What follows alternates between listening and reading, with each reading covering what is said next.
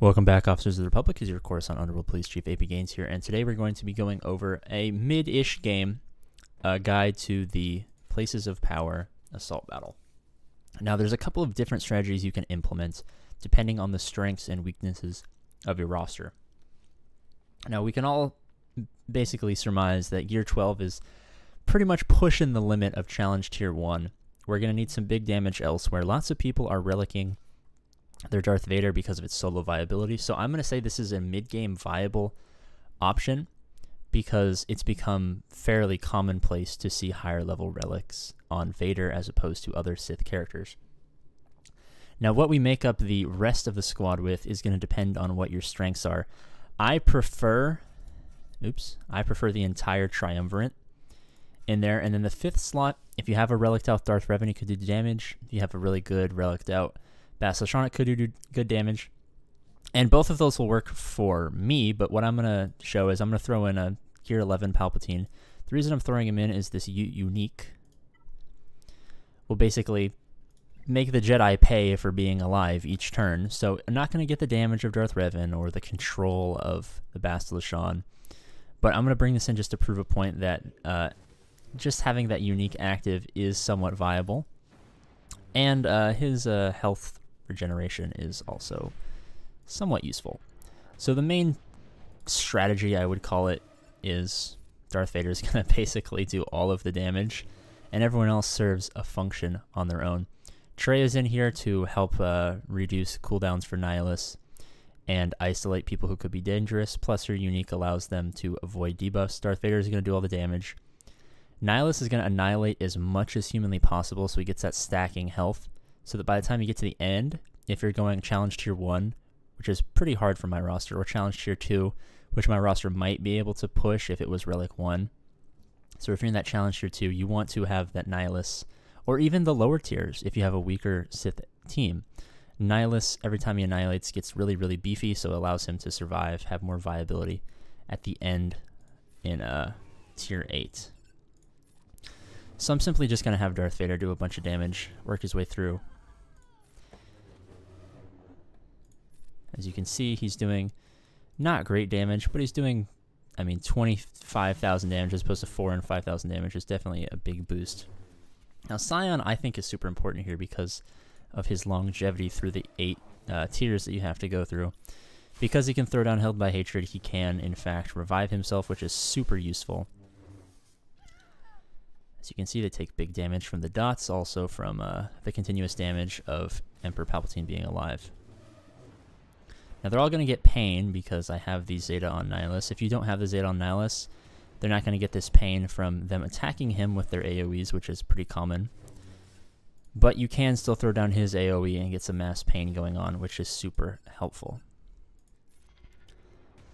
They're on this AoE. Now, if you're wondering why I didn't uh, drain all of their life at the beginning in the first round, I'm saving it for this round because there are more characters more enemies in this round. So if Nihilus can eventually take his turn before I kill anyone, let me make sure I don't kill anyone off. He'll have an extra person to steal from, which will be very good. Now, as you see, they're dying from the... Every time they take a turn, they take damage from Emperor Palpatine, and then they take damage from dots, which stack and won't go away because of the Vader lead Zeta.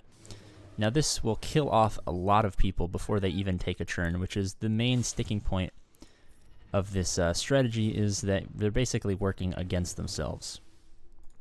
So if you happen to have a stronger EP, it would be more helpful because it'll last longer. Uh, you'll get to have these beautiful stuns and this healing more often. As you can see, I don't need to annihilate these guys because they're super weak, but I'm going to get out as many annihilates as possible because it will allow me to stack up that health and make them super beefy for the last battle with the entire Jedi Council.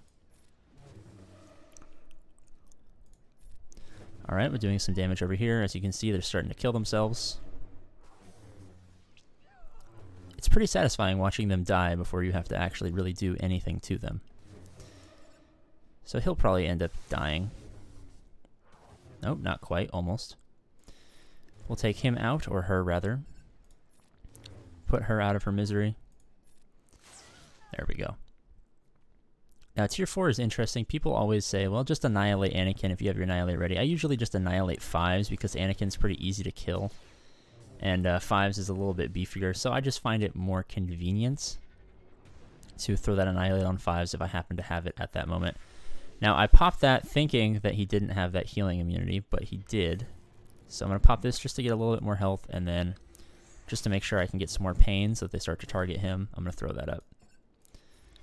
Now we got five people up, so we're going to increase all their cooldowns and get the maximum decrease of our cooldowns. We'll pass around all of the Merciless Massacre. Very beautiful. Now, he has slightly more health, so I am going to kill him here and then go after Anakin. The reason I didn't kill Anakin first was because I wanted to use that Culling Blade on a guy I might not have been able to one-shot um, with my basic attack, so I just thought that a guaranteed kill over there would be more beneficial than uh, taking it a little bit safe. Alright, so we have our Annihilate, which I should have used, but I messed up there. If Nihilus gets another turn, I would love to harvest all of Five's beautiful health. But I might actually, I'm thinking I'm going to save it for the next tier just so that I can get someone out early. Hopefully Sion doesn't die. He probably won't. He's uh, gear 12, he's not great. Uh, not fantastically modded, as you guys know. I don't mod my characters. Uh, so, if we can get a nice little Annihilate here, Hopefully EP doesn't die before we can throw this up. There we go. Got some dots on the field, some nice little basic attacks. I'll throw this over here because he's going to get annihilated, so I don't want to waste any big damage over there. Alright. There we go, he's back up to stuff. Now we'll get him out of here. Alright, hopefully EP gets another turn so he can take advantage of that health steal.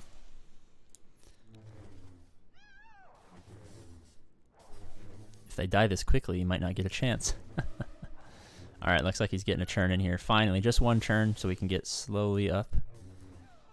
So our Nihilus is looking pretty beefy at this moment, which is nice. I'll probably get one more Annihilate in before the final battle. Ooh, that's not good. I'm going to throw this over here just to see if I can keep him alive just a little bit longer. Uh, it did not work. Okay, so I'm going to throw this up, get some pain up on so that they start going after my boy Sion so I can keep my Traya health and protection up as long as possible. Uh, be prepared for that final stage.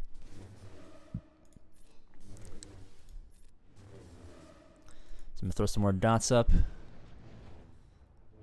As you can see, they're taking big damage just by being alive.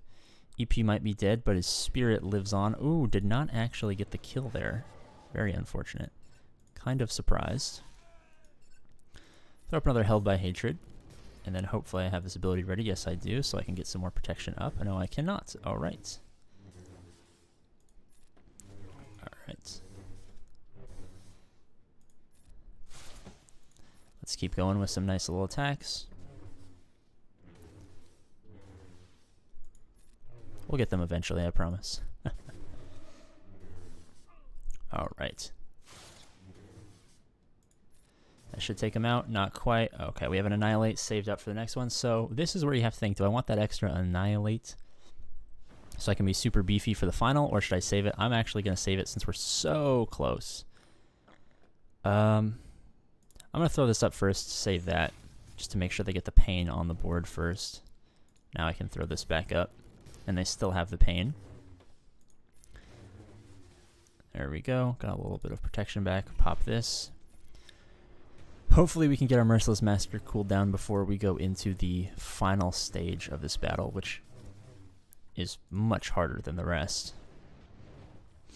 Surprisingly, it's not the, the Yoda or the GK or any of that stuff that makes it harder. It's it's kind of the, like, die and stuff like that, or the Eth Koth, rather. He'll occasionally stun you, lock you if you're at a lower level, so if you're in one of the first couple tiers, that's something you're gonna really have to worry about. Oh, don't you just love to see them taking massive damage? Alright. Let's take the traitor out. Reduce that cooldown for us. Hopefully that doesn't kill him, so maybe... Uh, okay. He's going to go in with 0% turn meter, which is not good, but he does have Merciless Massacre, so this is where we have to strategize. Hopefully this lets us take an immediate another turn. It does not. All right, so we come back. We throw this here. Okay, it's working. It's working. Now we can dispel. They're gonna go after him. He's gonna die, but I'll get another turn. Smack here. Um, I'll go here. All right, there we go. Now we can take out Yoda.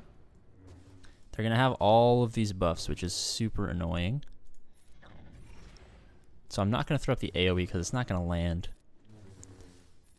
Oh, I forgot to click out of the taunt. Rookie mistake, guys. It's okay. Nihilus is going to be so beefy at this point that it's not really going to matter. We just kind of slowly work down on GK, reduce some turn meters. Nihilus is, at this point is probably almost unkillable. So we don't have to worry too much about the run. And obviously the amount of stars you get on this doesn't really matter. Let's just reduce some of cooldowns. Give him a bunch of protection. Alright, so we should have Annihilate next turn. GK will probably be dead at that point, so we'll have to think about maybe Qui-Gon Jinn Annihilation. Not something you see every day. Alright, so we're one turn off of a Merciless Massacre. But we are going to annihilate Qui-Gon Jinn. Now, Eth Koth is super annoying, so we're going to throw some dots over on him. Get a basic over on Mace Windu. Throw a Culling Blade, hopefully we crit. Nice. And we're pretty much set at this point. Now, getting here is the hardest part. It's not necessarily a challenge if you use this pretty basic strategy, but sometimes you have to do a little finagling at the end since it is such a long event and you don't want to mess up. But basically, just throw a bunch of uh, throw a bunch of annihilates with Nihilus, and you should be all good. All right, guys, I'll see you later.